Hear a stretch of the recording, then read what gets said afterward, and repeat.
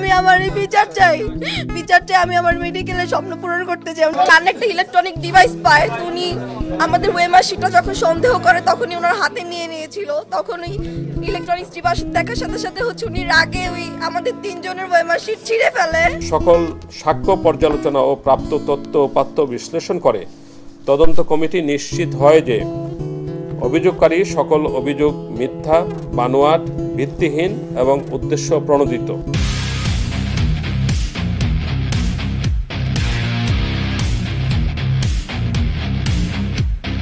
দুদিন আগে আমরা আলোচনাটা করছিলাম বাংলাদেশের প্রেক্ষাপটে এবং আমাদের অভিজ্ঞতায় কতটুকু সেন্সিবল মনে হয় সেটা আমরা আলোচনা করছিলাম যে ওয়ান হান্ড্রেড পার্সেন্ট সেন্সিবল এই ধরনের ঘটনা আমরা জীবনভর দেখে আসছি, জীবনভর চলতেছে।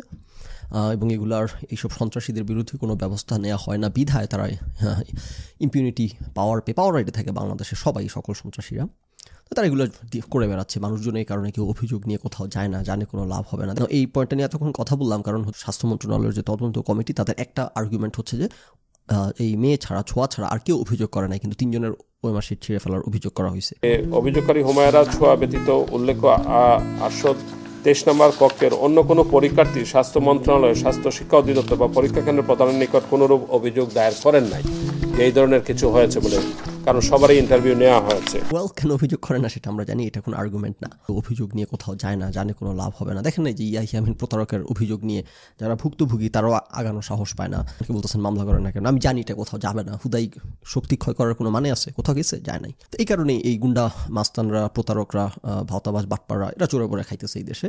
এবং যারা ভিকটিম তারা কোনো অভিযোগ করেন তো ওনারা যে আর্গুমেন্টগুলো দেখাইলেন, তদন্ত কমিটি যে তদন্তের ফলাফল এবং সেই তদন্তের ফলাফল কতটুকু বিলিভেবল এবং কী কী যুক্তিতর্ক সেগুলো আমরা আলোচনা করি। শুরুতে যদি একটা সামারি দেওয়ার চেষ্টা করি, সেটা হচ্ছে যে, আমি পুরোপুরি কনভিন্স না। একটা পজিটিভ ব্যাপার, প্রশংসনীয় ব্যাপার, যে তদন্ত কমিটি সকল তথ্যগুলো ইন ডিটেলড তুলে ধরছে। ডিটেলস ইয়াহিয়ামিনের মতো সকল কিছু খালি ভেগ ভেগ ভেগ ভেগ জানি আপনি ধরতে না পারেন, খালি পিছলানোর রাস্তা। তা না, তারা সকল কিছু কনক্রিট নাম্বার কোয়ান্টিটেটিভলি আলোচনা করছে। সেটা গুড পার্ট এবং আমরা যেসব প্রয়োজনীয় প্রশ্নের উত্তর জানতে চাইতাম সেগুলোর উত্তর করছে। দ্যাটস অলসো গুড পার্ট কিন্তু যে উত্তরগুলো করছে এটা কতটুকু কনভিন্সিং এবং সেখানে ফাঁকফোকর আছে কিনা সেটা হচ্ছে আলোচনার বিষয়। আমি বেশ কিছু ফাঁকফোকর দেখতে পাচ্ছি, কিন্তু তার মানে এই আমি ইদার ওয়ে বিশ্বাস বা অবিশ্বাস করতেছি। আমি বেশ কিছু সিগনিফিকেন্ট ফাঁকফোকর দেখতে পাচ্ছি এবং সো মাচ সো যে আমি কনক্লুড করতে পারতেছি না এখানে। কে রাইট কে রং আমি কনক্লুড করে ফেলতাম যে তদন্ত কমিটির এই তদন্তকে আমি বিশ্বাস করি না, মেয়েকে বিশ্বাস করি, কিন্তু তদন্ত কমিটির একটা কোয়ান্টিটেটিভ দাবির কারণে আমি সেটাও করতে পারতেছি না। কারণ এই মেয়েটা মিথ্যা কথা বলছে, বলে দাবি করছে তার ভর্তি পরীক্ষা টোটাল নাম্বার পাওয়া নিয়ে। দুই হাজার বাইশ তেইশ শিক্ষাবর্ষে ভর্তি পরীক্ষা অকৃতকার্য হয়েও টেস্ট স্কোর ছিল সাতাইশ দশমিক দুই পাঁচ। পিতাকে, পিতা অকৃতকার্য হয়েও পিতাকে মায়ের পরামর্শে মিথ্যা বলে। ওখানে যে কথাটুকু তার বাবার বক্তব্যের সময় এবং সে বক্তব্য রেখেছে, তার বাবা কিন্তু তার গতবারের রেজাল্ট জানতেন না। এবং সেখানে বলেছিল যে সে পাশ করেছে কিন্তু সরকারি মেডিকেল কলেজে চান্স পাওয়ার জন্য সে একটা ভালো মেডিকেল কলেজে যেন পড়াশোনা করতে পারে, সেই জন্য সে আবারও পরীক্ষা দেবে। তো এটাও আমরা এখানে একটা নোট হিসাবে আপনাদের কাছে জানাতে চাই। এটাও তার একটা ব্যাপার, কিন্তু বাবা পরে স্বীকার করেছেন যে উনি আসলে সেটা জানতেন না। এবং তার মা হয়তো ব্যাপারটুকু জানতেন। সো কেউ যদি মিথ্যা কথা বলে এবং স্পেশালি প্রমাণিত হয়ে যায়, তাইলে তো আসলে তার আর কোনটা সত্য, কোনটা মিথ্যা? স্পেশালি তার চরিত্রে যেহেতু মিথ্যা কথা বলা, প্রতারণা করা জিনিসটা আছে, তার মানে এর ক্রেডিবিলিটি তো আসলে আর এর কাছ থেকে কথা নেই। আসলে ওই কারণে এই মেয়ের অভিযোগ নিয়ে এখন আমিও সন্দিগ্ধ। কিন্তু ব্যাপার হচ্ছে এত বড় একটা জিনিস বানায়, আগাগোড়া মিথ্যা, ডাহা, বলা, একটু হার্ড টু বিলিভ যে এত ডিটেল সে একদম ওয়েমার, সে ছিঁড়ে ফেলছে, এত ডেসক্রিপটিভ এবং স্পেসিফিক হওয়াটা ইটস হার্ড টু বিলিভ যে এত বড় মিথ্যা কথা মেয়েটা বলছে। মানে ইয়াহিয়ামিনকে দেখার পর এখন আসলে পৃথিবীতে আর কোনো কিছুর কোনো বটন নাই। এখন সব কিছু বিশ্বাস করতে হবে, মন না চাইলেও। সো কিন্তু স্টিল হার্ড টু বিলিভ আর কি। এবং আরেকটা ব্যাপার হচ্ছে যে মেয়েটার যে খুব বাজে মানের ছাত্রী, এটা খুবই দুঃখজনক যে সে এই বছর পাইছে নয়, সাতান্নটা প্রশ্নের উত্তর করে। আর গত বছর পাইছে বাইশ। অভিযোগকারী হুমায়রা ছোঁয়া পেয়েছে নয় দশমিক পাঁচ শূন্য। দুই হাজার বাইশ তেইশ শিক্ষাবর্ষে ভর্তি পরীক্ষা অকৃতকার্য হয়েও টেস্ট স্কোর ছিল সাতাইশ দশমিক দুই পাঁচ। দিস ইজ আনঅ্যাকসেপ্টেবল ছোট বোন দিস ইজ আনঅ্যাকসেপ্টেবল নির্দিষ্ট সংখ্যক প্রশ্ন খুবই সহজ থাকে। তো ত্রিশ চল্লিশ পাওয়াই যায়। যে কোনো মাঝারি মানের ছাত্রছাত্রী ত্রিশ অবশ্যই পাওয়া উচিত। ত্রিশ চল্লিশ পঞ্চাশ এক দৌড়ে। তারপর এই পঞ্চাশ থেকে ষাটে তোলা, ষাট থেকে সত্তরে তোলা, সত্তর থেকে আশিতে তোলা, ওইখানে গিয়ে ফাইটটা হবে, ওইখানে গিয়ে কম্পিটিশনটা হবে। এই মেয়েটা বছর পর বছর আগের বার পাইছে বাইশ, এবার পাইছে নয়। নো নো নো অনেক রেড ফ্ল্যাগ দেখা ফ্ল্যাগ দেখা যাচ্ছে মেয়েটার জন্য। এই কিছু কারণ কনসিডার করে আমি কনক্লুড করতে পারতেছি না মেয়েটার পক্ষে। আর মন্ত্রণালয়ের তদন্ত তো বিশ্বাস করার কোনো কারণ নেই। আমাদের ডিফল্ট পজিশন ওইখানে হচ্ছে যে এরা প্রতারণা করবে, এরা সেভ করার চেষ্টা করবে, নিজেদের সন্ত্রাসীকে এরা কোনো ব্যবস্থা নেবে না, কোনো জবাব- জবাবদিহিতার আওতায় আনবে না। গ্রুপ বেঁধে পান্ডামি করতে নেমে যাবে, যেটা গত অনেক পর্ব ধরে আলোচনা করতেছি। ইয়াহি আমিনের মতো প্রতারকের বিরুদ্ধে পক্ষে হইতেছে সুষমার যা কুশল গ্রুপ বেঁধে পান্ডামি করতে নেমে গেছে, অথচ সভ্য দেশে হইলে তার আশেপাশের লোকজনই প্রথম তাকে ঠেলে বিচারের মঞ্চে পাঠিয়ে দিত। সো সো এই জন্য তদন্ত কমিটির তদন্ত করা, এগুলা আমাদের স্টার্টিং পয়েন্ট হচ্ছে বিশ্বাস না করা রাইট আচ্ছা okay with all that information in mind তো প্রথমের যে ব্যাপারটা প্রশংসা করলাম বা অ্যাপ্রিসিয়েট করলাম যে সকল কিছু কনক্রিট কোয়ান্টিটেটিভ স্পেসিফিক ছিল।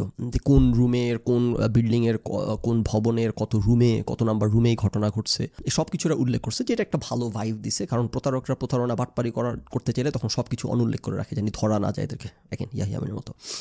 সো তারা যেহেতু সব তথ্য প্রমাণ শেয়ার করতেছে আমাদের সবার সাথে, তাতে করে কি হচ্ছে? আর অনেকের পক্ষে ভেরিফাই করা সহজ হয়ে যাচ্ছে রাইট সো এটা একটা পজিটিভ ইমপ্রেশন দিচ্ছে তদন্ত কমিটির কমিটমেন্টের ব্যাপারে। আচ্ছা তারা চব্বিশ জনের সাক্ষাৎকার নিছে বলে দাবি করছে, সেটাও একটা ভালো ব্যাপার সব কিছু কোয়ান্টিটেটিভ কথাবার্তা। তারা চারটা প্রশ্নের উত্তর করার চেষ্টা করছে তদন্ত কমিটি, যেটা অ্যাপ্রিসিয়েটেড এবং যে চারটা প্রশ্নের উত্তর করার চেষ্টা করছে দ্যাট শোজ যে তারা কোনো ধরনের ফাঁকিবাজির চেষ্টা করে নাই, যা যা অভিযোগ সবগুলা অ্যান্সার করার চেষ্টা করছে। নাম্বার ওয়ান তারা চেষ্টা করছে ডিভাইস ওই রুমে আদৌ কোনো ডিভাইস পাওয়া গেছিল কিনা, যেটা এম দাবি করছে। নাম্বার ওয়ান নাম্বার টু হচ্ছে ডিভাইস পাওয়ার পর সেটার পরিপ্রেক্ষিতে কোনো ওএমআর ফর্ম ছেঁড়া হয়েছিল কিনা, আদৌ ছেঁড়ার কোনো ঘটনা ঘটছে কিনা, তারপর তারা প্রশ্নের উত্তর সার্চ করছে যে ছেঁড়ার পর নতুন ওএমআর কাউকে সরবরাহ করা হয়েছিল কিনা, যেটা সে এই মেয়ে অভিযোগ করছে। এবং সর্ব, সর্বশেষ হচ্ছে অসহযোগিতা করা শিক্ষকদের কোনো অভিযোগ ছিল কিনা। শেরে বাংলা কৃষি বিশ্ববিদ্যালয়ের শেখ কামাল ভবনের আটশো তেইশ নম্বর রুমের কোনো পরীক্ষার্থীর নিকট থেকে কোনো ডিভাইস উদ্ধার করা হয়েছিল কিনা? সে অভিযোগ করে নিজের বা অন্য কোনো পরীক্ষার্থীর ওএমআর শিট ছেঁড়া হয়েছিল কিনা? পরীক্ষা শেষ হওয়ার পাঁচ মিনিট আগে অভিযোগকারী সহ অন্য কোনো পরীক্ষার্থীকে প্রশ্নপত্র সহ কোনো ওএমআর শিট সরবরাহ করা হয়েছিল কি না পরীক্ষা সংশ্লিষ্ট কর্মকর্তাদের বিরুদ্ধে আনিত অভিযোগ বা অসহযোগিতার অভিযোগ যথাযথ কি না তারা এখানে যত অভিযোগ, একদম এক্সস্টিভলি প্রত্যেকটা অভিযোগকে অ্যাড্রেস করছে, যেটা খুবই কমেন্ডেবল এবং যেই কারণে আমি সত্যি কথা বলতে আমি অ্যাগেন অবিশ্বাস নিয়ে তদন্ত কমিটির ফলাফল শুনতে বসছি এবং এগুলো শোনার পর তারা যেইভাবে করে অ্যাগেন খুব স্পেসিফিক হয়ে কোয়ান্টিটিভলি আলোচনা করতে শুরু করল এবং সকল অভিযোগ অ্যাড্রেস করে কোনো লুকা ছাপার চেষ্টা করে নাই। আমি বিশ্বাস করে ফেলছি তাদের তদন্ত রেজাল্টের উপর। আমার আস্থা কনফিডেন্স ফিরে আসছিল। সোনার বাংলার উপর তো আস্থা রাখা যাবে না, কিন্তু আমার মতো লোকের আস্থা চলে আসছে বোঝানো অবস্থা। কিন্তু যত সময় গেছে, আমার আস্থা আরও নড়বড়ে হয়ে গেছে। ওনাদের তদন্তে যে কয়েকটা ফাঁক ফুকর আছে, সেগুলো নিয়ে একটু ফাঁক ফুকর না, যে কয়েকটা প্রশ্ন আছে, আমার যে কয়েকটা জিনিস মেক সেন্স আলোচনা করি। নট ক্লেমিং যেগুলোর কোনো উত্তর নাই পটেনশিয়ালি হয়তো এগুলোর ওনাদের কাছে ব্যাখ্যা আছে, কিন্তু সংবাদ সম্মেলন থেকে আমি এগুলোর কোনো অ্যান্সার খুঁজে পাই নাই, এবং বেশ সিরিয়াস কিছু ফাঁক ফোকর আমার প্রশ্ন আমার কাছে আছে। উনি বলছেন যে ওনারা পাঁচটা সিট বেশি দেওয়া হয় পরীক্ষার হলে। যতজন ছাত্র, যতজন উপস্থিত সব কিছুর পর পাঁচটা বেশি সিট দেওয়া হয়। ওখানে আপনার একশো ছয় জন ক্যান্ডিডেট ছিল, একশো চারজন উপস্থিত ছিল আরও পাঁচটা সিট বেশি দেওয়া হয়। এবং রেজাল্টের যখন রেজাল্ট হয়ে যায় মানে যখন পরীক্ষা হয়ে যায়, তখন কিন্তু আমাদের ওই হিসাবগুলা থাকে যে কতগুলো ইউজ হয়েছে, কতগুলো আনইউজ হয়েছে, সবগুলো এখানে ফেরত দেওয়া হয়। আমার প্রশ্ন হচ্ছে পাঁচটা সিট বেশি কেন দেওয়া হবে? ও ওএমআর ফর্মের পরীক্ষা লুজ শীটও না। হতে পারে কেউ পূরণ করতে গিয়ে কিছু ভুল টুল করছে, আবার চেঞ্জ করে দিতে বলছে। কিন্তু হ্যাড টু বিলিভ আমি আমার জীবনে দেখিনি এরকম যে, কারণ আমাদের এখানে তো সবাই শিক্ষকরা গুন্ডা মাস্তান মাফিয়া, সন্ত্রাসী সো আমরা আমাদের জীবন হাতের মুঠো নিয়ে এসব পরীক্ষা হলে বসি যে কোথাও কোনো ভুল হলে অসহযোগিতা করার জন্য সকল পাণ্ডা বসে আছে আমাদের শিক্ষক নামের বাবার মতো শিক্ষক নামের মাস্তান পান্ডাগুলো বসে আছে সামনে। কোনো একটা ভুল হয়েছে গেলে সে আর উল্টা হ্যারাসমেন্টের মধ্যে ফেলে দিবে, মাস্তানি শুরু করবে। সো আমরা জীবন হাতের মুঠায় রেখে আমরা প্রত্যেকটা এই দেশে কাজ করি এবং অ্যাডমিশন টেস্টের মতো বিষয়ে খুব সতর্ক থাকি। মানে এই না, ঘটনা ঘটে, কিন্তু একটা হলে পাঁচটা ঘটনা এরকম ঘটছে, পাঁচটা সিট বেশি দেওয়া হয়েছে ও আমার form I know I have a question here তাহলে কি এগুলো ওই যে মেয়েটা দাবি করছে এক্সট্রা দেওয়া হয়েছে ছিঁড়ে ফেলার পর এগুলো কি সেইগুলা নাম্বার ওয়ান প্রশ্ন। কিছু তথ্য অ্যাকুরেটলি দিছে মানেই ন্যাচারালি এটা মিন করে না যে হ্যাঁ আমি এটার অভিযোগ মিথ্যা। রাইট এই তথ্য দেওয়ার ক্ষেত্রে শুভঙ্করের ফাঁকি আছে কিনা? আমাদের ইয়াহি আমিন বাটপার ভাইটির মতো। তথ্য দিয়ে যাচ্ছে হাফ ট্রুথ কিনা? এবং লাইং বাই অমিশন কিনা এটা হচ্ছে গুরুত্বপূর্ণ কথা। সো যদি পাঁচটা সিট বেশি হয়ে দেওয়া থাকে, সেই পাঁচটার মধ্যে মেয়ের দাবি করা তিনটা আছে কিনা, এটা একটা জেনুইন প্রশ্ন আমার, এবং কেন পাঁচটা বেশি সিট একটা পরীক্ষা হলে এটা খুব আনইউজুয়াল লাগতেছে। তারপর উনি দাবি করলেন যে রোল নাম্বারের সিকোয়েন্স এই মেয়েটার আশেপাশে যে দুজন তাদের রোল নাম্বারের সিকোয়েন্স ঠিক আছে না? ওইখানে অ্যাপ্রিসিয়েট করার জিনিস যেটা, যে আশেপাশের মেয়েটার কারা ছিল, তাদের নাম সহ উল্লেখ করছে পরীক্ষার তদন্ত কমিটি।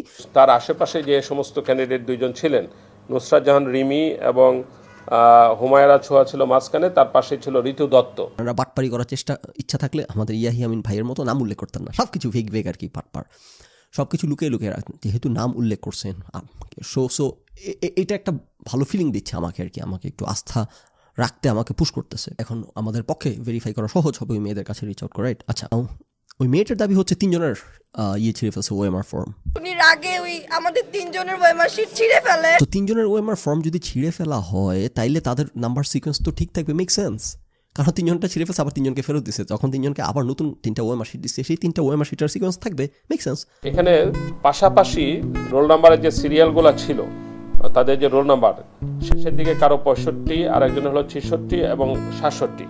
তার মানে সিকোয়েন্সটা আনসার স্ক্রিপ্টে দেখা গেছে যে সেই সিকোয়েন্সটুকু কিন্তু তাদের মানে ঠিক আছে। এখন হঠাৎ করে যদি কেউ ছিঁড়ে ফেলে এবং তারপরে যদি তাকে একটা নতুন স্ক্রিপ্ট দেওয়া হয়, তাহলে কিন্তু এখানে মানে সেই সিকোয়েন্সটুকু ঠিক থাকার কথা না। রোল তাহলে নতুনভাবে একটা তার মানে সিকোয়েন্সটা চলে আসবে। তো তিনজনের ওএমআর ফর্ম যদি ছিঁড়ে ফেলা হয়, তাইলে তাদের নাম্বার সিকোয়েন্স তো ঠিক থাকবে মেক সেন্স কারণ তিনজনটা ছিঁড়ে ফেলছে, আবার তিনজনকে ফেরত দিচ্ছে তখন তিনজনকে আবার নতুন তিনটা ওএমআর শিট দিচ্ছে, সেই তিনটা ওএমআর শিটের সিকোয়েন্স থাকবে মেক সেন্স তাতে করে তো ডিসপ্রুভ হয় না যে সেটা হয় না। যদি এমন হইতো, শুধু একটা মেয়ের শীর্ষে ছোঁয়ার, তারপর তাকে দেওয়া হয়েছে তাহলে ওই দুজনের সিকোয়েন্স ঠিক থাকতো, সে আউট অফ সিকোয়েন্স হয়ে যেত। That would have made sense কিন্তু মেয়ে তো দাবি করছে তিনজনটা ছিঁড়ে ফেলছে, আবার তিনজনকে ফেরত দিচ্ছে। তাহলে সিকোয়েন্স ঠিক থাকবে মেক সেন্স আপনাকে যেটা প্রমাণ করতে হবে সেটা হচ্ছে এই তিনটার সাথে, এই তিনটার আগের এবং পরেরগুলার সিকোয়েন্স ঠিক আছে কিনা, যখন দেয়া হয়েছিল, তখন তার আগে পরে সবার সিকোয়েন্সের মধ্যে সে পড়ছে কিনা, নাকি তারা আউট অফ সিকোয়েন্স হয়ে গেছে? এই তিনটা একসাথে, একটা না, তিনটা। এই অ্যাঙ্গেলটা আপনাদের মাথায় আসে না যে এইভাবে করে উপস্থাপন না করলে বিষয়টা প্রমাণ হয় না? নাকি আমাদের হ্যাঁ আমি ভাইয়ের মতো হাফ ট্রুথ বলা পান্ডামি করতেছেন, লুকানোর চেষ্টা করতেছেন? That I don't know but যেটা আপনারা ব্যাখ্যা দিচ্ছেন, সেই ব্যাখ্যা is not sufficient it doesn't answer the question আরেকটা ওনারা ব্যাখ্যা দিচ্ছেন যে খাতার মধ্যে যে ইনভিজিলেটররা সাইন করে, এই এই তিনজন মেয়ের খাতায় সাইন করছে যিনি একজন মারমা হচ্ছে একজন পরীক্ষক ছিলেন পরিদর্শক, উনি সাইন করছেন। তো তাতে করে প্রমাণ হয় যার বিরুদ্ধে অভিযোগ উনি এই সাইডে আসেনি নাই। মারমা ডাক্তার, তারা তিনজনেরই মানে সে সিগনেচার করেছিল। মানে ওই ডাক্তার সিগনেচার করেছিলেন তাদের আনসার স্ক্রিপ্টে ইনভিজিলেটর হিসাবে। নাফিজা যার বিরুদ্ধে মানে তার অভিযোগ আছে যে যিনি ছিঁড়ে ফেলেছেন, সে আসলে এই এই পাশে আসেই নাই। তাতে করে কীভাবে এটা প্রমাণ হইল? মানে সিরিয়াসলি আপনারা কি ডাম এটা থেকে এটা কীভাবে প্রমাণিত হয়? আমরা সবাই তো পরীক্ষা দিছি জীবনভর। পরীক্ষায় ইয়ে দেওয়ার পর, খাতা দেওয়ার পর টিচাররা সকল টিচার ইনভিজুয়ালরা পুরো হল ঘুরতে থাকে, এদিকে আসে, সেদিক যায়, সেদিক আসে, সেদিক যায়। তারপর যখন সাইন করা শুরু করে, তখন একজন শিক্ষক ওই কোনা ধরে সাইন করে, একজন শিক্ষক এই কোনা ধরে সাইন করে, একজন শিক্ষক এই কোনা বা এই রো ধরে সাইন করে বা এই কলাম ধরে সাইন করে। সো যখন সাইন করা শুরু করে ওকে ফাইন তখন ওই মারমা শিক্ষক হয়তো তার কল, তাদের লাইনের সবার ফর্ম সাইন করছেন এবং নাফিসা যিনি, উনি হয়তো ওই সাইডে সাইন করছেন। কিন্তু তার মানে তো এই না যে ওই ভদ্রমহিলা নাফিসে মহিলা যে এখন আর আসতেই পারবেন না, কারণ উনি এই- এই- দিকের এগুলো সাইন করেন না। উনি ওইখানে স্টাক হয়ে টেবিলের উপরে এমন করে পাছাটা সেঁটে বসেছিলেন ইয়ের উপর চেয়ারের উপর। এটা কী ধরনের আর্গুমেন্ট ওনার ওই নাফিসা ভদ্রমহিলা তো ওই কোনা থেকে, এই কোনাতে আসছেন, এই কোনা থেকে, পেছনের কোনো গেছেন, সবখানে গেছেন। তো তাহলে উনি এই কোনায় এসে ছিটতে পারবেন না কেন? উনি যদি এই কোনায় এসে ওনার মনে হয় যে এখানে কোনো ঘটনা ঘটতেছে, বা উনি ওই কোনা থেকে দেখ দেখ, ওনার ওনার সন্দেহ হয়েছে যে কী ব্যাপার ওইখানে? তাহলে কেউ আছে, উনি এদিকে আসতে পারবে না, কারণ উনি ওই কোনায় সাইন করছেন খাতা। মানে এটিগুলি কী ধরনের argument second bullshit argument okay that doesn't prove anything আরেকটা হচ্ছে লাস্ট হইতেছে ওনাদের যে কেউ কোনো অভিযোগ করে নাই। আটশো তেইশ নম্বর কক্ষের অন্য কোনো পরীক্ষার্থী স্বাস্থ্য মন্ত্রণালয় স্বাস্থ্য শিক্ষা অধিদপ্তর বা পরীক্ষা কেন্দ্রের প্রধানের নিকট কোনোরূপ অভিযোগ দায়ের করেন নাই। সুতরাং এতে প্রমাণিত হয় যে আর কারও ছেড়া হয় না তাতে এটা প্রমাণিত হয় না। আমার সাথে ঘটলে তো আমি অভিযোগ করতাম না হয়তো। এই যেটা বললাম যে এই যে ইয়াহি আমিনের এই কাহিনী নিয়েই তো অভিযোগ করার লোক আমার কাছে বেনামে অভিযোগ করে, পত্রিকার সাথে ইন্টারভিউ দিতে বললে পিছিয়ে চলে আসে। আমাকে আপনারা বলেন মামলা করেন, আমি আগাইতে সাহস পাই না, কারণ জানি কোনো লাভ হবে না হুদয় সময়ের অপচয়, শ্রমের অপচয়, মেধার অপচয়। না, এই জন্য কেউ অভিযোগ করে না। কারণ এই যে অভিযোগ করলে যে আপনারা যদি এখানে কোনো পান্ডামি করে থাকেন, আপনাদের লোককে সেভ করার চেষ্টা করে থাকেন, এই কারণে অভিযোগ করে না। জানে তো এটা মগের মূল্য মজার দেশ এখানে এগুলো কোনো লাভ নাই করে রাইট তো এই তদন্ত কমিটির যেই সংবাদ সম্মেলন করলেন, এখানে অনলি পজিটিভ থিং যে তারা ইয়াহি আমিনের মতো শেডি হওয়ার চেষ্টা করেন নাই। তারা কনক্রিট ছিলেন কোয়ান্টিটেটিভ ছিলেন। কিন্তু সেইখানে কোনো হাফ ট্রুথ এবং লাইক ভাই অমিশন আছে কিনা আমাদের ইয়াহি আমিন প্রতারক ভাইয়ের মতো, সেই ব্যাপারে আমার সিরিয়াস অনেকগুলো প্রশ্নের জায়গা আছে। এই সংবাদ সম্মেলন থেকে এবং এই প্রচুর তথ্য দেওয়া থেকে আমি এখনও নিশ্চিত হইতে পারতেছি না যে আমাদের যে প্রশ্নগুলো, সেই প্রশ্নের উত্তর পাওয়া গেছে কিনা বা এবার মেয়েটাকে নিয়ে আরেকবার যদি শেষ আলোচনাটা করি, যে সে তার ক্রেডিবিলিটি হারাই ফেলছে ওই জায়গাতে, যে এই দাবি যদি সত্য হয়ে থাকে যে সে এভাবে মিথ্যা বলছে এবং তার নাম্বার এত খারাপ নাম্বার, সে দুইবারই পাইছে। অবিশ্বাস্য লেভেলের খারাপ নাম্বার। বাইশ নাম্বারটা তাও মার্জনীয় নয় নাম্বার তো মার্জনীয়ই না। এই তথ্যগুলো যদি সঠিক হয়ে থাকে, সঠিক ধরে নিয়ে আমাদের, ওনাদেরকে বিশ্বাস করবেন না। কখনোই কনক্লুশনে পৌঁছে যাবেন যে হ্যাঁ ফাঁক রুম রাখবেন সবসময় আমার মতো করে। দেখেন এই চ্যানেলে যে আমরা আলোচনা করি এবং দেখেন আমার চ্যানেলে এই পর্যন্ত যত ঘটনা বিশ্লেষণ করে আমি থিওরি দিছি, এখন পর্যন্ত কোনো থিওরি মিথ্যা প্রমাণিত হয় না সম্ভবত একটা, দুইটা একটু পার্সিয়ালি হইলেও হতে পারে। হান্ড্রেড পার্সেন্ট কিন্তু আমি সকল ক্ষেত্রে ঠিক প্রমাণিত হয়েছি সো আমার একটা থিওরি যখন দিই, এটাকে পুশব্যাক করার আগে দশবার ভাববেন যে ফখরুল ইসলাম ভাই কিন্তু শিয়ালের মতো তীক্ষ্ণ, ওনার দৃষ্টি, উনি কিন্তু ফাঁক ফোকর ওনার চোখ এড়ানোর কথা না। সো আপনারা যদি কনভিন্স হয়ে গিয়ে থাকেন টেক ইট ফ্রম মি আমি কনভিন্স না। চোখ কান খোলা রাখেন অপশন খোলা রাখেন। এখন it can go either way আমার আমার আমার বিশ্বাস মেয়েটা বের হয়ে এসে আবার দাবি করে আমাদের সামনে এটা প্রমাণ করতে প্রমাণ করতে সক্ষম না হোক, তার সেই ক্ষমতা নাই। এই সোনার বাংলার মধ্যে সে দুর্বল, সে এই সোনার বাংলা ও ভিকটিম ও নিভৃতে কাটতে হবে ওকে কিন্তু, এবং তার নিশ্চয়ই অনেক থ্রেটেড করা হচ্ছে এর মধ্যে, এবং তার সাথে অনেক রকম,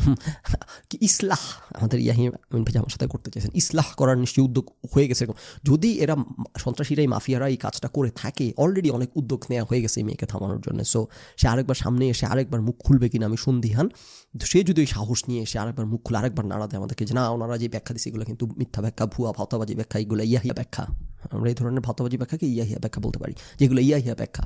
সেক্ষেত্রে আমাদের তখন আমি আরেকটু শিওর হব আচ্ছা তার মানে আমি যে প্রশ্নগুলো উত্থাপন করছি, এই- জায়গাগুলো আমার কাছে মনে হয়েছে প্রবলেমেটিক এগুলো আসলেই প্রবলেমেটিক তার মানে এগুলো ওনারা ইয়াহিয়া ব্যাখ্যা দিচ্ছেন কিন্তু সেই মেয়েটা সাহস করে সামনে আবার আগে আসবে কি না এটার কি কারণ? এই জন্য আসবে না যে সে আসলে মিথ্যাবাদী, নাকি এই কারণে যে তাকে স্কোয়াশ করা হয়েছে হবে? I don't know you never know দেশে কী হয়। এত বড় একটা মিথ্যা কথা এইভাবে মিডিয়ার সামনে এসে কান্নাকাটি করে বলা, এটা এখনও আমি I finding it hard to believe যে পুরোটা জিনিস দাবি মিথ্যা। যদি মিথ্যা হয়, যদি, আমি এখনও কনভিন্স না, কিন্তু যদি মিথ্যা হয়, তাইলে আমি বলব যে ইহা ইয়া আমিনের আসলে খোঁজ লাগানো উচিত যে ইহা আমিন ছোটোবেলায় মেলায় ওনার কোনো বোন হারানো গেছিল কিনা। কারণ ভদ্রমহিলা যেই লেভেলের প্রতারক, আমার মনে হচ্ছে উনি ইয়া ইয়া আমিনের বায়োলজিক্যাল সিস্টার হয়ে থাকবেন।